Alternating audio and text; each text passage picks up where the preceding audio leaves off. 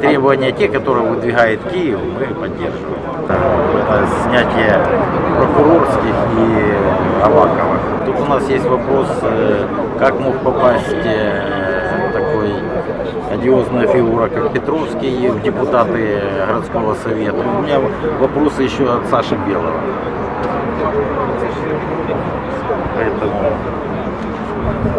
Я понимаю, что это картинка красивая в Киеве, хорошие молодые. А у нас? А у нас как было, так и осталось. Вчера произошла страшная трагедия.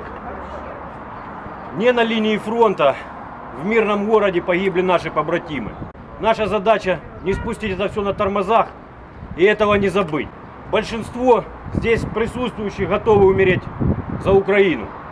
Побратимы, я призываю вас, я заклинаю вас, давайте не будем гибнуть, но давайте будем жи- жить так, чтобы они задолбались нас убивать.